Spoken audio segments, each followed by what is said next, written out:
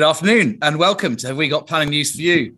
Um, we are delighted to, to, you're all able to join us this evening. As usual, the reminder that instead of a, a, a fee for um, registration, please consider a charity donation to either one of our three uh, preferred charities um, Shelter, Brian May's Save Me Trust, or the Ukraine uh, GoFundMe page, or a local charity of, of your choice, as you please. And we're thrilled to have on the show this evening James Stevens uh, of the Home Buildings Federation talk about all things with Mary, all, all things house building, and in particular nutrient related. Uh, the HBF having been uh, particularly um, proactive in relation to the uh, nutrient neutrality um, issue, which has held up estimated 100,000 homes uh, at the moment. Um, so we're really looking forward, uh, James, to Mary's discussion uh, with you later on. Um, in the meantime, can you tell us where you're calling us from and um, what theme you've chosen for us and, and what, if anything, you're drinking? I have to say, if anything, just in case. I don't want to be encouraging people to drink. Uh, thanks, Charlie. Yeah, so I'm I'm calling from the HBF offices, uh, um, just opposite the Coin Street, the legendary Coin Street development, mm. which we're based on on South Bank. So the planners amongst the audience, which I assume is everybody, will know what I mean when I'm referring to that. Uh, and uh, I'm not drinking anything apart from water, I'm afraid, uh, uh, Charlie. But I probably will have a whiskey and ginger ale when I get back home uh, late tonight. And my theme, I'm sorry, I really struggled with a theme. I kind of was thinking about it all last night. And I was thinking about something about literature and planning. And unfortunately, most of my favorite writers. Uh, tend to have quite a reactionary view when it comes to new house building. Apart from Ian Forster, you know, who's really good at it. Uh, so instead, I just I just plump I, I just plump for some music. A particular track that I like, uh, Horace Silver Quintet uh, Tokyo Blues. I think since the lockdown, I've just been getting into listening to uh, music a lot more, and I've dusted off my hard bop uh, jazz collection. So there you go. Fantastic. Well, I, I, won't say anything about my music taste. I think that's less, less is more in that respect. Now, normally at this juncture, I'd turn to Mary, but I, I can't resist going to Paul. You're not in another hourly rate roadside hotel, are you, Paul? he can't even hear us. Well, well, assume that's a yes, I think. Um, in the meantime, while Paul's struggling to to, to, to, issue his denial um, in whatever latest roadside facility he's in, uh, Mary, um, where are you this evening? And uh... I'm I'm in the attic in lovely Wandsworth. Good evening, uh, everyone, and good evening, James. And um, can I say immediately, thank you very much for introducing me to the joys of Too Much Sake by uh, the Horace Silver Quintet. And audience, Google it now uh, because you can listen uh, to this wonderful jazz. Uh, there's a great little video online. Um, and yeah, it's been a delight. And I look forward to the interview. Thanks, Mary. Um, and uh, Chris, how are you doing? I'm very well, Charlie. Nice to see you. And uh, hello, James. Welcome to the show.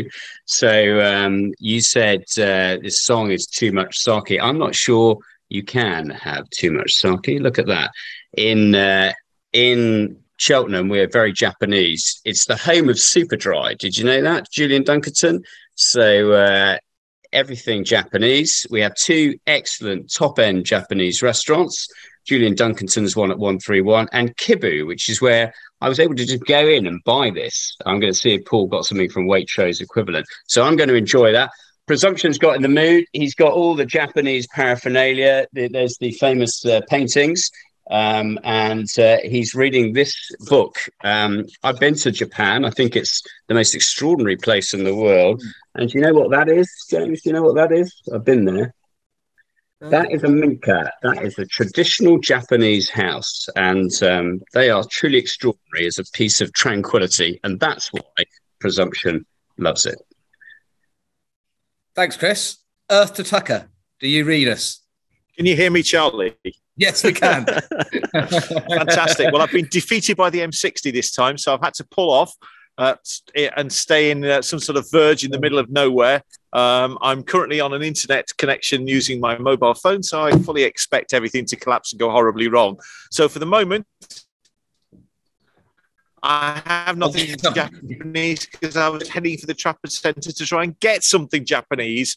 So, uh, hello, nice to see you, James thanks, Paul. Great to see you there. Sasha's uh, in court, uh, but he's going to join us shortly. Um, so uh, we'll, we'll introduce him when he arrives. Uh, Charlie Banner here for Keating Chambers. I'm in Scotland.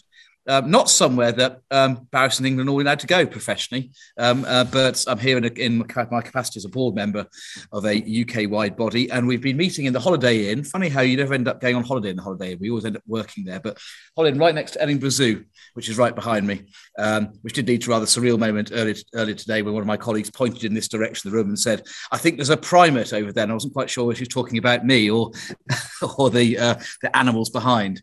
Um, and I'm drinking um, whiskey. I actually, in, in lieu of your um, Japanese related theme, James, I went downstairs to the bar and asked for Japanese whiskey. Not something I'd recommend doing in an English voice in Scotland. Don't think it went down very well. But um, anyway, I managed to get some. So um, without further ado, um, we're going to um, do our case reports. And actually, slightly unusually this, this week, we managed to find two decisions, um, quite topical, important decisions from parts of um, of the UK other than England and Wales. I think Chris has covered a Scottish case um, um, in in the past, but we've got we're starting with a case from Northern Ireland. Paul, you're going to cover, and then I'm going to cover one from Jersey. So, Paul, over to you, and tell us about um, Casement Park Gaelic Athletic Association judicial review. Uh, thank you, Charlie. Well, if my internet collapses, then you can take it over anyway, because you were in it, as you will recall, acting for the department as second interested party. So, um, this is a judicial review uh, involving uh, a challenge to the grant of permission for the redevelopment of Casement Park in Belfast, uh, which is the home of Ulster Gaelic Athletic Association, to construct a new 35,000 seater stadium. I should say, courtesy of my wife, uh, she's not an Ulster GAA fan. She's a Dublin GAA fan. This is her, her, shirt that she told me I've got to wave at everybody to let you know that when they build it, uh, uh, Dublin will win. Up the dubs. well done, Ursula. Great Tra- tragically, C- Casement Park's been uh, disused for a number of years. Uh, it got a permission in the mid 20 teens, uh, which was then quashed as a result of an application by the Owenvarragh Residents Association. Um, th- this is a further consent that was granted after that quashing and a further challenge involving the same residents association. Um, it was a decision by the Minister of Infrastructure, and there are essentially two big areas of attack. One of which is a constitutional attack in relation to whether the minister had the right uh, to make a determination without referring it back to the executive committee of the Northern Ireland Assembly. Uh, and fascinating though that issue is, and Charlie, thank you that uh, I've spent some time reading that and learning about constitutional issues in Northern Ireland. Uh, and the uh, uh, the excision of planning from the overall uh, cross-cutting cross-cutting responsibility of the minister, it probably only has a fairly niche audience interest. So I'll focus on the planning challenge, which is the second ground of challenge. Um, uh, uh, resulting resulting from the judgment. There were a whole series of challenges. Uh, I've scribbled down eleven uh, and a, fo- postscript, um, but they the, the primary ones revolve around the Section 76 agreement. That's under the 2011 Northern Irish Act. There are dissimilarities from the planning system over here, but there is broad similarity. And the case law has persuasive weight over in Northern Ireland, albeit it's a different jurisdiction. Uh, the first ground uh, was a cracking ground because it was saying uh, we didn't get a copy of the Section 76 agreement, but by the time of the hearing, they had a copy of the Section 76 agreement and still continued to run the ground. Bingo. Uh, that failed. Uh, the second was an argument about a failure to consult on the Section 76 agreement in draft, reliant upon a case in Lichfield, uh, where there had been an issue involving a landowner and a financial consequence to the landowner. And the court uh, in the Lichfield case had said there are only very particular circumstances which a common law duty to consult arose. Uh, because there is no statutory duty to consult on draft 106 obligations. Uh, and uh, the, the court in this case said uh, there was no financial interest, there was no particular exceptional justification to justify uh, consultation on the, the draft Section 76 agreement. Um, that's quite important in terms of any claims about consultation on a 106 in England or a Section 75 in Scotland. So that's that's a point to, to take off from this.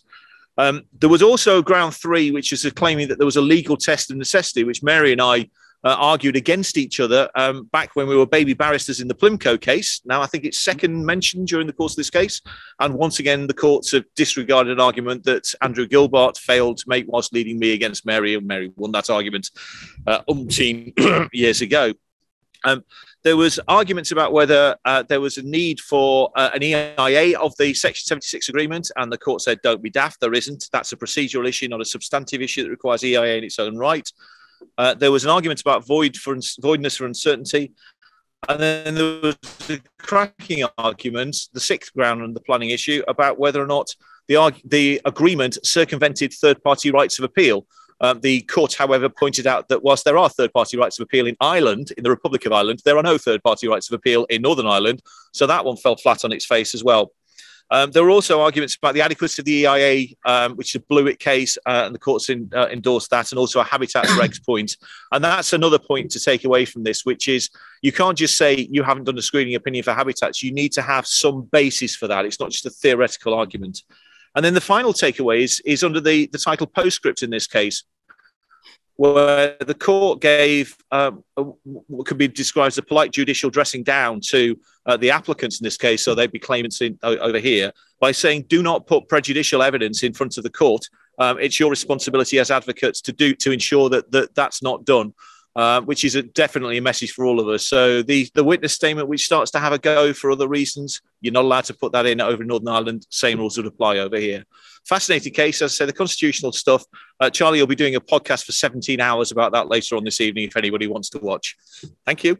You, you wish it'd be at least 18. Thanks, thanks, um, well, um, let's go to another part of uh, of the uh, United Kingdom, uh, Jersey. Uh, now, Jersey is in fact one of my favourite places in the whole um, world, and, and, the reason for that is I used to go there on holiday uh, in the summer with my my parents because my dad was, was too old to travel much further. And in fact, I think Rob has got a picture of, of the what I think is the best beach actually in, in the UK, so Brelade's Bay Beach. There it is in all its glory, one of my favourite places in the whole whole wide world. Really wonderful place, recommend it.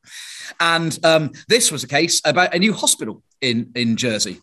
Um, and uh, a rather remarkable thing was this was described in the inspector's report. It was an inspector who reported to the um, Jersey government, who, who, granted permission, described as the biggest ever infrastructure project embarked upon by the states of, of Jersey.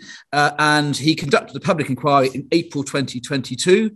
He reported on the 16th of May 2022, and uh, the, um, the government issued their decision the next day on the 17th of May 2022. How about that for fast track infrastructure development? I wonder if we could learn a, a thing or two from the, the good people of, of Jersey.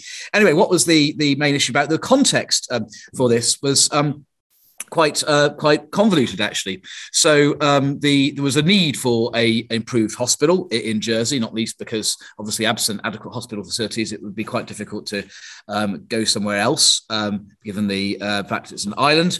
Um, it was described by the inspector as a project that had been dogged with difficulties, uh, contention, and, and, delays. There had been two public inquiries into previous um, schemes in 2017 and 2018. Those concerned outline applications uh, concerning larger hospitals and on an existing hospital site in Helier, which is the capital of Jersey. Um, and there were a lot of objectors to those. They'd been refused permission uh, for a number of reasons, including uh, design townscape impacts and setting on, on the grade one listed hospital on site. So this new application came along and it was different, um, both in terms of the site, which was somewhere else, a place called Overdale on the outskirts of St Helier, uh, and um, that itself uh, raised what the inspector described as an entirely new set of locational environmental factors, but also um, uh, it was a full application uh, considered by the inspector to provide greater certainty of uh, the design um, uh, impact of design quality and townscape impacts. And also, by the time that the new application came to be considered by the inspector, it was essentially allocated by the island plan. Uh, broadly speaking, Jersey has the same statutory regime for planning as uh, we're familiar with uh, in England, Wales, and indeed Scotland and Northern Ireland. And, and there was one development plan, in fact, the Bridging Island Plan, that had been adopted in March this year, and that uh, endorsed the principle of a new hospital and the Overdale site. Um, so the inspector then looked at the application proposal. It was a very large proposal because the, the need was, was for considerably enhanced hospital facilities, including a tall building um, and uh, various other additional large buildings. Um, to expect to drive the tall building. The, the main hospital is an extremely large and tall building, in fact, to be the largest building on the island of Jersey. Um, there was a five-day inquiry, um, number of written reps, um, hundreds of objectors, um, and uh, the inspector then went on to consider the question of accordance with the plan. And it's another illustration. We've had a few on, on this show with the Corbett and Cornwall case, um, then the, the Persimmon case in Soham, uh, and more recently, uh, one of the Yatton cases that Chris covered, another Persimmon case, where despite individual conflicts with development plan, there was accordance to plan of, as a whole. That also there was the Dandara Hawkhurst case. So overall, accordance to plan as a whole. And the inspector the same, same approach here. So he, he went through a range of different aspects of the BIP, the, the island plan, which is a development plan, he found a number of conflicts because of the size of the building, the townscape, uh, design impacts, uh, etc., uh, and indeed um, some heritage impacts. Um, however, overall, because of the um, the need for the hospital that had been enshrined in the plan and the selection of the site, and the fact that essentially, in his judgment, the uh, the development caused the minimum amount, amount of impact that a hospital on the designated site would uh, would be able to cause uh, whilst delivering on the extent of the need. Um, essentially, because of those reasons, set out more fully in a 161 page report, um, the inspector considered there was accordance with the plan as a whole, despite a, a very large number of policy tensions. Uh, in relation to the World Heritage Site, um, there was in an iconic heritage of Jersey, as he called it, um, there would be uh, impacts on heritage, but um, they wouldn't be catastrophic, as, as, he described it, because the uh, building, whilst it would be seen in the same views as views of Jersey's heritage, it would be seen at some distance. Uh, and therefore, overall, he felt was according to the plan as a whole. So, uh, another illustration of that very important principle, according to the plan as a whole, and an illustration that, you know, planning is not that different in, in different parts of the UK and other common law countries. And or sometimes we can learn a thing or two about how other people do it. I'm a big, big believer in that. Um, now, uh, with that, we're going to go. Um, sounds a bit mundane. We're going to go to Chichester. Actually, we were going to go to Chichester, but we're not because Sasha isn't here. So instead, we're going to go to the equally mundane sounding destination of Rickmansworth. And Chris is going to tell us about a, a decision uh, there. Um, so over to you, Chris. You got the short straw this week. I can't believe you think Rickmansworth is dull. I think that's just outrageous. Uh, James has got something to say about that. I also can't believe that you talked about Jersey for seven minutes without mentioning Bergerac. But you know, oh that was, yeah, that was a great series, wasn't it? it was, okay, it so my my case, uh, we're going to bring it up on the screen, is from Maple Cross in Rickmansworth, and Three Rivers is the local authority, and it's a development for uh, warehouses, Class E, like everything else, uh, and 16,000 square feet of them, and then uh, 1,800 square feet of ancillary office space. So you know what we're looking at. Generally, it's a shed with a car park, and the decision was allowed by the inspector Darren Hendley. Now we've got some images, and the images are quite important. First of all, there's uh, an aerial photograph that shows us where the site is. The motorway is just a little to the north of that, um, and uh, the large buildings to the west are part of another area of industrial buildings. So there's a, a, mix of uses, but there's industrial next door. Look, it's a, a largely greenfield site. Uh, we go to the next image, this shows us the layout. Now, this is a case about biodiversity net gain. So imagine the difficulties of trying to achieve that on a site like this, where you're largely covering the site in development, both in terms of the sheds, but also in terms of the uh, car parking and the vehicle space for the lorries. And then finally, we've got an image that sort of demonstrates that of how urban and developed it is. Look at that. There's not much greenery in that image. And this presented a particular problem. So if we turn to um, the paragraphs relating to the appeal, um, there are some other issues, but I want to focus on biodiversity net gain.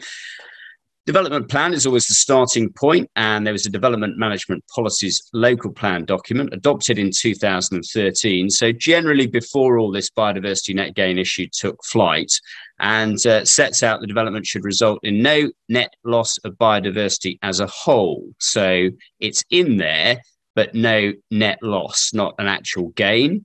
And under Part A, states that where development would affect a species in need of conservation by the UK Biodiversity Action Plan, amongst other protections, that will not be permitted where there's an adverse impact on ecological, geological, and biodiversity interests of the site, unless it could be demonstrated the need for the development would outweigh it. So, a bit like the heritage test, do the benefits of the scheme outweigh the harm that would be caused in terms of the, the loss of biodiversity and through mitigation and, if necessary, compensation? And there was a species here, the forester moth, that needed special conservation under the BAP series. It had been considered extinct in Hertfordshire for the enthusiast, uh, and therefore um, that was a relevant species.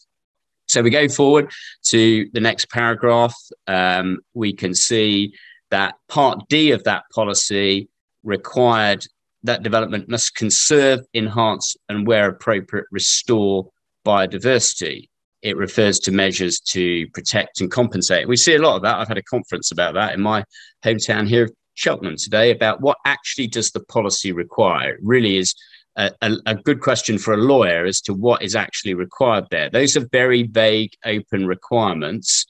Um, and then there was SA2, and it concerned biodiversity as regard the allocation, it states measures to avoid adverse impacts and to enhance diversity will need to be provided. It takes, as the inspector says, a more permissive approach to development than the stringent part of policy DM6. So here we've got quite a mixed bag of policies, some of them quite stringent, uh, some of them in terms of the allocation, which might be considered the dominant policy, according to Duncan Ouseley's approach, um, you, are looking at a policy that actually is specific to the site because it's an allocation. And then, of course, the inspector refers to the NPPF paragraph 174, which we all know about, which does talk about providing net gains for biodiversity. So that's the that's the position in terms of the policies. So the inspector turned to uh, I think that's all the paragraphs we've got covered. Um, the inspector then turned to um, consider the merits of this issue and um, through various statements of common ground, the council adopted the same position as the appellant. They'd refused it on this issue uh, about the forester moth and biodiversity net gain and water uh, quality as well. But through the statements of common ground, they um, they withdrew effectively. They triggered the appeal and walked away. Now we've seen that lots of times before, haven't we? That happened to me in Ledbury. It happens quite a bit. But that allowed the local action group to fight on their case. That was the Maple Cross Residents Environment Group. Now, the inspector observed the Environment Act 2021 provided for provides for 10% biodiversity net gain, but the statutory requirement hasn't yet been enacted. We know that. Uh, we've seen that in other cases, like my Malmesbury case uh, and others that people have done. Um, and he noted there'd be further consultation required and then further legislation before it came into force, as well as guidance and publication of the biodiversity metric by the Secretary of State. Now, there's one by DEFRA, we've seen various versions of that, but it's not yet endorsed by the Secretary of State. So it is just a persuasive metric. I think people sometimes forget that. And as the inspector observed, neither policy DM6 nor SA2 make reference to biodiversity net gain, just biodiversity protection. So the inspector took the view it wasn't a matter for the development plan in terms of biodiversity net gain, but he did think it was relevant in terms of the NPPF and the PPG. And he was referred to various versions of the metric. But the key dispute in this case was about the existing classification of the site. So the baseline that you look at, which is requiring this biodiversity net gain, which you can achieve at 1% through the requirements of um, what is set out in the NPPF, which doesn't obviously set the 10% yet. And what happened was the local action group said it was classified as a lowland meadow, whereas the appellant and the council's consultant said it was grassland, which contained some lowland meadow species, but that didn't make the whole site lowland meadow. So there's a dispute there, which the inspector observed was unsatisfactory, and he had to reach a view about that. And he took the view that the council and the appellant had the more persuasive evidence because they'd built up a lot more survey work over the period of time. Why was that significant? Because if the appellants were right, they had to pay a sum of 143,000. If the residents group were right, it was closer to half a million, 425,000. So the inspector took the view that um, the appellant was right. He judged that the council and the appellant's figure was more proportionate, looking at whether it was fairly and reasonably related in scale and kind to the development. And uh, as far as the debate about the Forester moth is concerned, the residents said the grassland should be translocated as there's a possibility the larvae larvae from the um, from the moth could be on the grass. There'd been one sighting in 2021, but the inspector judged that completely well, judged it unreasonable to have to translocate all the grassland. So a very practical decision from the inspector based on who had the better evidence and a reasonable approach to dealing with the moth. He applied the benefits of the proposal as per policy DM6, uh, and um, and that was an unmet need for 40,000 square meters of such warehouse space. And he granted planning permission. I think we've got the appearance pages as well. Well done to uh, Giles Cannock uh, with his success there. Uh, it was Tim Sturgis's case from Addison Young. And uh, obviously, you can see quite a bit of uh, ecological evidence given. The lesson out of all this is that we're still only needing to require biodiversity net gain of potentially 1% as opposed to 10% until the legislation changes. Well done, Giles. Thanks, Chris, for that ecological tour de force. If David Bellamy was still alive, he'd be worried about his job.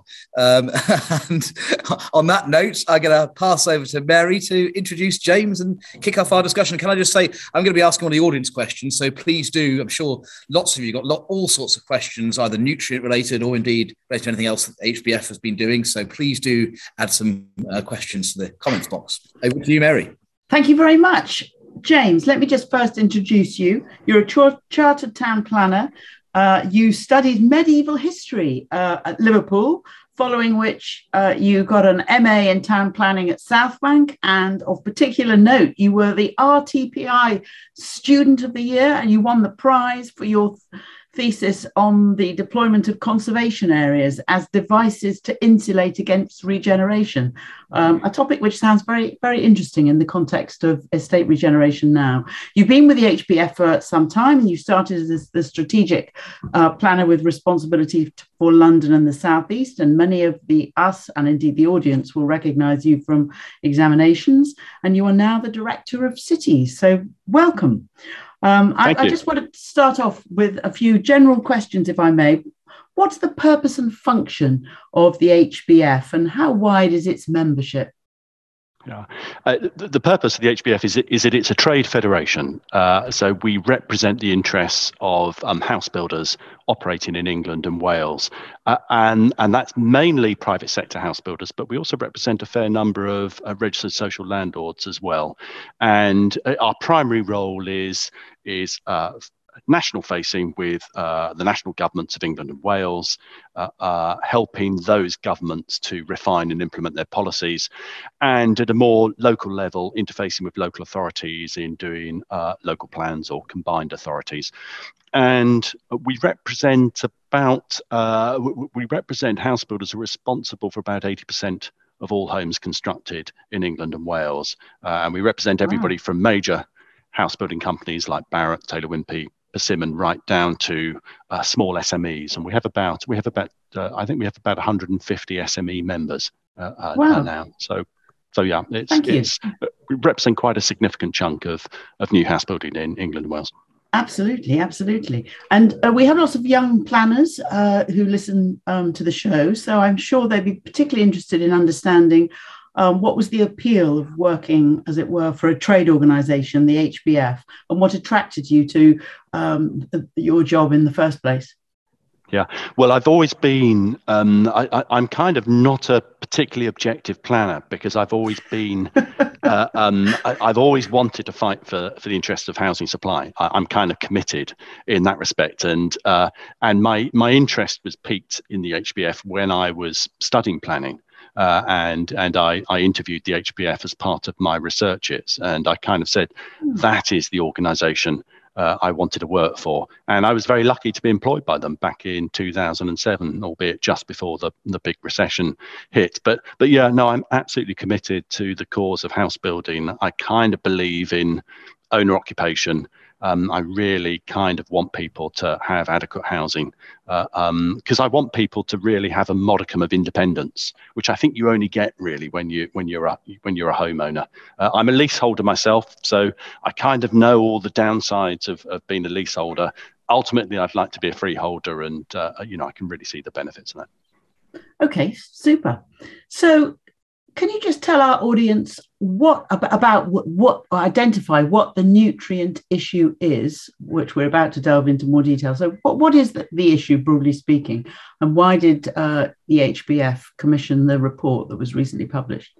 Yeah, well, we've been we've been dealing with this issue, or particularly I've been dealing with this issue really for the last two years, and it really stems from the Court of European Justice uh, ruling, the, the so-called Dutch nitrogen case, where it kind of concluded that uh, um, specially protected habitats, including special areas of conservation and Ramsar sites in this country, although there is a debate to be had about that, uh, shouldn't be allowed to fall into any uh, worse condition. Uh, and it meant that local authorities can't really allow um, development which might have an adverse effect from mm. proceeding unless they can demonstrate that they will uh, have a, a, neutral effect, or if they will have an adverse effect, they have to provide mitigation uh, to ensure that uh, they reach a, a, neutral level, a, kind of an issue that Chris Young was referring to with that Rick, Rickmansworth worth, uh, worth case. Um, uh, but the problem is, uh, as quickly became apparent, it's extremely difficult to provide mitigation uh, for many of the homes that are currently stuck. It was easier in the Solent because they were dealing with the issue of nitrogen, that's nitrogen leaching from the land into riverine systems and then downriver into protected habitats. Much harder to deal with the issue of uh, phosphorus. Uh, um, the land take implications of trying to deal with phosphorus is just uh, is is really very very much bigger, uh, uh, and that's one of the problems we've had. So um, if you were trying to deal with the issue of nitrogen, which is the issue they're dealing with in in the Solent, um, you know something like um, uh, um, you know you can you can mitigate a thousand kilograms of, of nitrogen uh, through a hectare of wetland, uh, but uh, but in dealing with the issue of phosphates, which is the issue which primarily affects everywhere else, you know, you'd need something like, um, uh, uh, you know, you'd need to you need to provide, it can only mitigate about one hectare of wetland can only mitigate about 12 kilograms. And as you know, this issue is spread out around the country. There yeah. are now about 100,000 homes uh, delayed by the issue. And that's why the HBF really had to get involved and, and try and work with government to find a solution. Okay, and so this recent report, uh, uh we've all noted it was dated in March and it's only just been released. Why is yeah. that? Why yeah. is that? It's it's a it's a it's a good point. I, I was I kind of I was initially I was quite hesitant about doing the research at all because I recognised that the advice that Natural England provided to local authorities did tell them that they could use uh, um, their advice is that you use a figure of 2.4 persons uh, per dwelling as a default assumption when you're trying to assess how much uh, uh um, how much uh, nutrient is generated by uh, the housing development. And we knew that was potentially wrong uh, it wasn't in line with what the population projections were suggesting for many areas. But I recognise that the Natural England advice uh, did say that you could use bespoke calculations. Uh, but nevertheless, when I'm glad we did go ahead with the research because when Lichfields looked at it for us, they found out that most, uh, although some local authorities were using their own locally specific data. Most weren't. Uh, most and most areas actually show uh, um, that household occupancy rates are well below the 2.4 uh, um, mm-hmm. suggested by Natural England.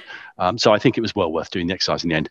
And it was delayed from, we did it in March, and then we delayed it because we thought that um, we didn't really want it in the public domain when the Wyatt versus Fareham uh, Court of Appeal judgment uh, was being um, heard, we thought that uh, um, there are many benefits with Natural England's methodology. We're very pleased they produced one.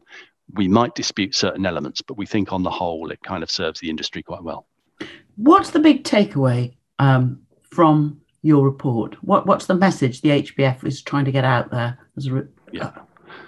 I, I, think the chief message is is that we were advising local authorities, and ideally we'd like Natural England to take take the, the report on board that 2.4 kind of over, overstates, overestimates the number of people that are living uh, within new homes in these catchment areas, uh, and that's because, uh, as most planners know, uh, uh, the you know the majority of household moves take place uh, uh, within uh, something like one third of household moves take place within 10 miles of where they were previously living, and something like 50% take place uh, within uh, uh, 20 miles. And therefore, not every new home generates 2.4 new people. Most housing, household formation takes place within the resident population. And the study does look at household formation within the catchment areas, not just the local authorities expected. So the conclusion was that uh, um, Natural England's assumption that 2.4 mm. people will live in each new home grossly overstates the number of people that actually live in the zones by, by over double uh, the number. And therefore, the levels of mitigation, mitigation industry is expected to provide is, is very much higher than, than really needs to be the case. What does the HBF consider um, is the appropriate sort of level of response to this issue? Is this something that boroughs and districts can fairly sort out on, by themselves? Or does it have to be addressed at a higher level? Yeah, no, I don't think it can be resolved by local authorities. We started off thinking that it was possible. And when we first started having our discussions with government about this two years ago, you know, in good faith, we, we, we went away to try and find out whether nature based solutions, which is the government's preferred mm. uh, approach to this, uh, could be could be feasible, could be made to work. And we quickly came to the conclusion when we looked at the amount of land that you needed to provide to provide mitigation for dealing with phosphorus, uh, it, it, just wasn't possible. I think the government was lulled into a false sense of security with experience in the Solent when they first started dealing with the issue in 2018. Uh, you know, they very, they, they relatively quickly, within about two years, got mitigation schemes up and running, but they were dealing with nitrogen, which requires far less land to mm. mitigate. Um, and, I, and I also think the government thought that the industry would just throw loads of money at the problem, uh, which is what it thinks the industry will always do, uh, because ne- commercial necessity will kind of concentrate minds and try and find a solution. But you know, the industry has tried throwing money at this situation, and it just won't work. And that's because landowners and local authorities are very unsure about points around regulation, standards, and accreditation of nature based projects. Plus, there's insufficient land supply. Uh, in some places, like the Camel Estuary, there isn't sufficient land. Uh, to provide mitigation within the catchment, which you, you need to do. And we also did an exercise along with South Somerset uh, and Allison Holmes in South Somerset, uh, where you know the amount of mitigation required to unlock the homes delayed there would require something like 5% of the land area of Somerset to be set aside for nature based projects each year. Uh, so, you know, it just isn't possible. So, so Mary, we've come to the conclusion, uh, and this is what we're saying to government now, is that nature based solutions is not the solution, uh, not on its own. You know, you, we need to do something at tackling the issue at source. Indeed. Um, so there are other players who need to come to the table and help solve this, uh, of which perhaps Natural England is but one. Uh, are, are these other players, uh, from what you can see, are they actively engaged and focused on solutions? And and really, who are they? Yeah, uh, not really. Uh, names. I, not really. I think one of the problems we've we've come to realise is that there seems to be a lack of strategic grip or interest in the issue within government, and particularly across departments. Uh, indeed, when we wrote to Rebecca Pow, who's the Undersecretary of State for the Environment, about this uh, a year and a half ago, uh, um, you know, her, her response was that it wasn't a uh, it wasn't her issue; it was a housing issue. Uh, even though nature-based solutions and the role of water companies and Ofwat are clearly uh, part of the issue here in agriculture. You know, it's agriculture and the existing built environment, which are the chief providers, uh, uh generators of, of nutrient pollution. House building only generates about 4%. Um, so, and and when you look at something like the DEFRA pilot project in the Solent, which they always refer to as an example of what they're doing, it's very difficult to get any information about how that's progressing and and who's responsible for it in its timescale. And when I talk to local authorities who are trying to deal with this, this issue, most of them dealing with phosphates are still many years away from having operational scheme uh, schemes that could start to unlock development. So, so uh, it, I think we have come to the conclusion. I'm afraid to say that you know it's not being taken seriously by um, by government or by the water industry at the moment. can we just remind government uh, uh and indeed all our, our, our, listeners? Can we just remind them about the scale of uh, house building, which is currently held back as a result of this issue today? Yeah, yeah, it's it's it's hundred thousand homes, and that's based wow. upon statements uh, provided by the local the 32 local authorities in the areas initially affected, largely down in the south of England, and then 40,000 uh, uh, based upon a survey of our members uh, in the areas newly affected from the 16th of March. That's the 42 uh, other local authorities, and and I reckon that that's probably an underestimation because, as said earlier, we only represent we represent 80% of house building. Yeah. There'll be other yeah. people, RSLs in particular, who are doing who are doing more schemes. So it's at least 100,000 homes. So wow. So James, what does the HBF want government to do to unlock this issue? Well, as I said, we, we, no longer think that nature-based solutions is the solution. Uh, we think that the uh, it must it must initiate a rapid program of the upgrading of wastewater treatment works to fit them with phosphorus or nitrogen stripping uh, technology uh, to kind of address the problem chiefly at source. We recognize that will cost. It's the view of the HBF uh, uh, that given the profits that, that water companies have been uh, making in recent years, uh, that they should foot the bill after all, the government felt that it was appropriate for house builders to foot the bill because the profits that we've made on the building safety uh, issue recently. And as they are the chief polluters, and we daily hear about uh, water companies discharging pollution into, into rivers, we, we think they should be responsible and foot the bill. We do know that Rebecca Pow, as I said, the Undersecretary of State for the Environment, has written to water companies in May, inviting them to uh, investigate the feasibility of ex- accelerating that work. Some of that work is scheduled for what's called the Asset Management Plan Period mm. uh, um, 8, which will commence in 2025. And she's asked if they could bring that forward it is possible that the government might adopt something like suitable alternative natural green space and impose a roof tax uh, towards which um, house builders should contribute, although that's not an approach we support. But I suspect that might be a route the government will consider. But it would also require some kind of legislative change, uh, Mary, because at the moment, the way that the Habitats Directive and regulations is written is that you have to provide mitigation uh, uh, now, not at some future point. And I think the government would have to tackle that as well. Thank you very much, James. Now, I, uh, the comments are coming in thick and fast, which is great to see. Um, I, am just going to uh, hand you over to, uh, first of all, Chris, so that Chris can ask his question, and we'll we'll come back if we get time at the end. Chris, your question. Thank you very much, uh, Mary. I have been looking at the comments though, and um, uh, I mean, my own view is it's the water companies. I completely agree with you the uh, Severn Trent, that's my area, 300 million pound profit last year. They're not investing, and they the Environment Agency allows them permits to actually put certain amounts of polluting material straight into the rivers. I mean, why is that the house building industry's fault? The EA can tighten up those permits to reduce the nutrient levels instantly and the phosphorus levels instantly through their permit system. And as for the investment, you know, let's see the, what's the price of it. Just tell us what the price of it is, and then we'll work it out because there is money from landowners. Anyway, that that's my view. It's completely wrong in a housing crisis to hold it all up when it's the responsibility of the water companies. No question.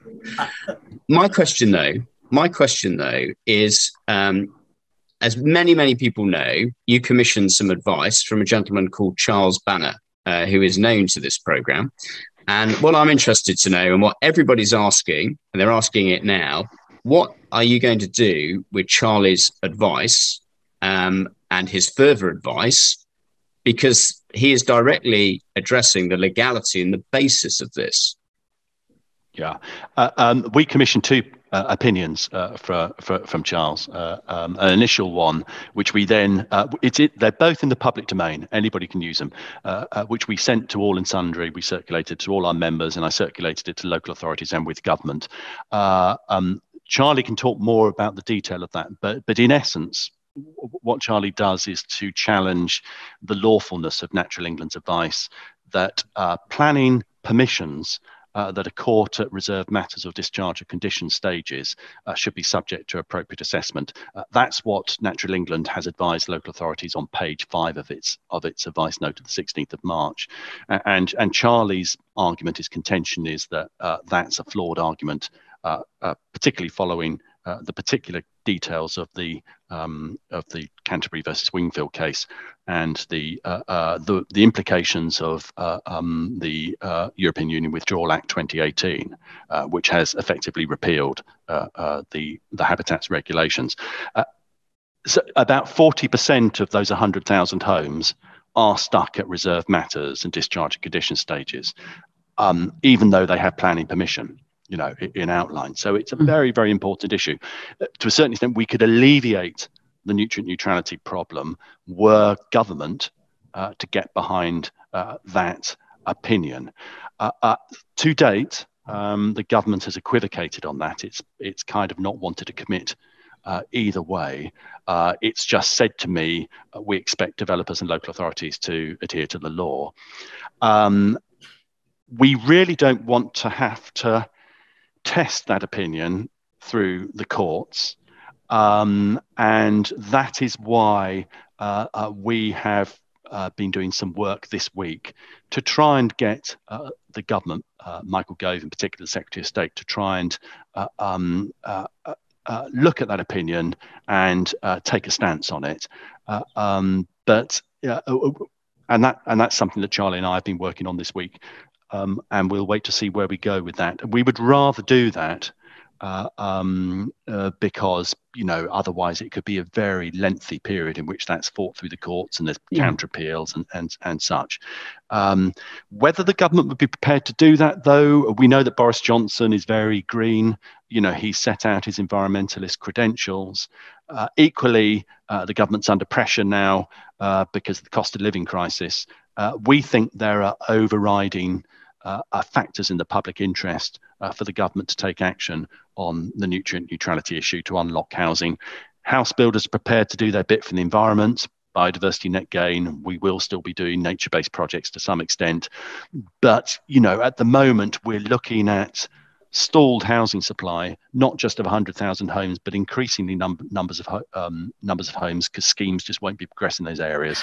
Uh, of well, a, and local a, plans significant volume local plans yeah. are also stuck with this one too.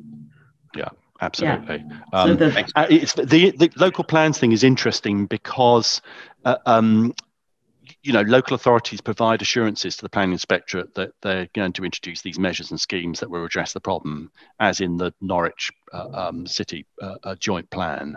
Uh, but then when you burrow down into the detail, you know, it's still two or three years off before you know they've even produced a report.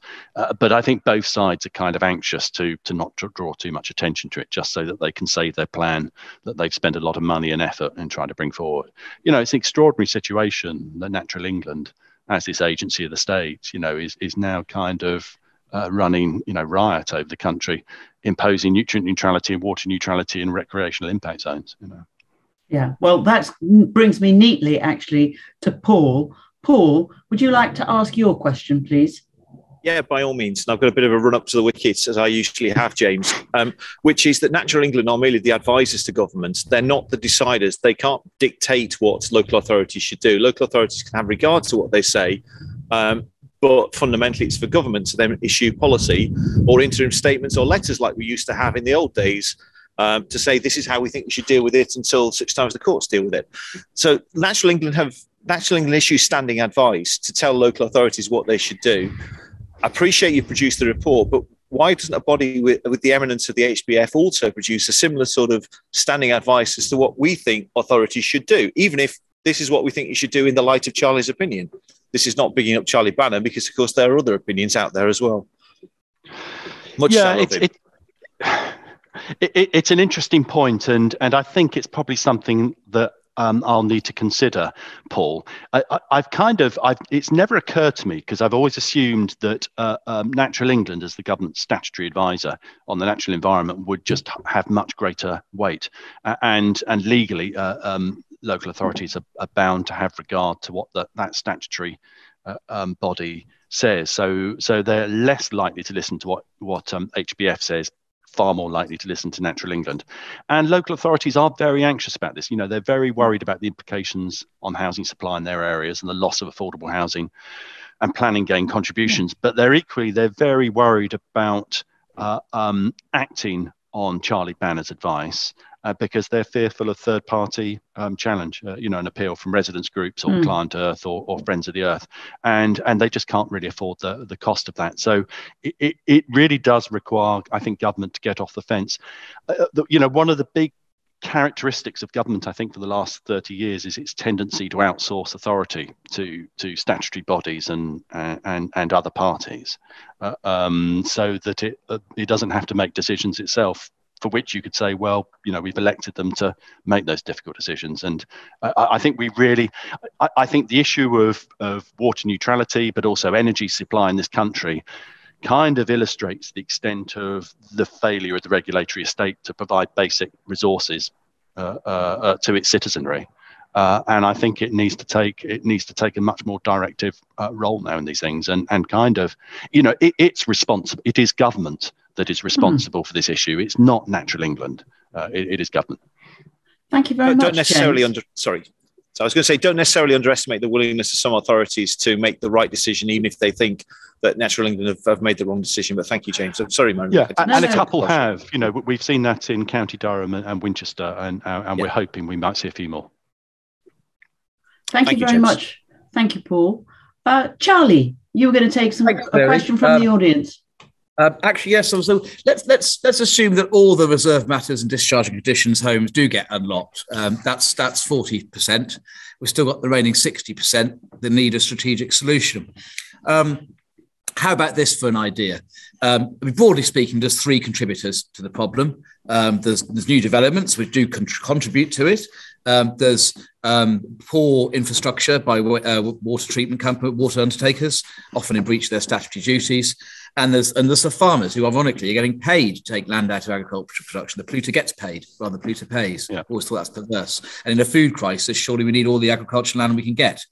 So how about this way? We, we have a levy, a bit like the cladding levy, and it's split three ways. The developers pay a third, the farmers pay a third, and the undertakers pay a third. Bearing in mind, if the undertakers pull the, whole hit, they're just passing on to consumers, and we have a cost of living crisis, and I'm not sure that's politically um, feasible at the moment. So you have a third, third, third. And for developers, um, if they contribute towards their third through a Section 106, they are, let's say, the habitats regs are modified for this purpose, and so they are deemed to have complied with the habitats regs if they do that. Um, is that workable? Is that is that? Know that was the levy is then used for fast track upgrade, universal upgrade to wastewater treatment works um, across the board, led by government.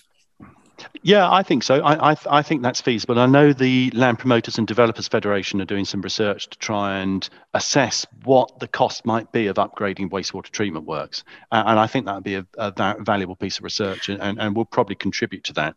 Uh, it, the, the, the, water companies, of course, have argued that um, this issue hasn't been foreseen.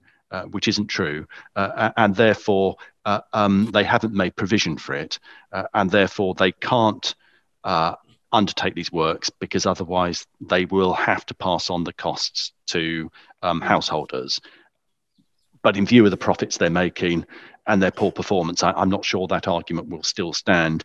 And your point about agriculture, I think, is a very important one. And I've got a meeting with another meeting with the National Farmers Union tomorrow because they're very worried that that government hasn't undertaken any kind of strategic assessment of the implications of this for land supply. Uh, you know, yeah. uh, um, and and food production.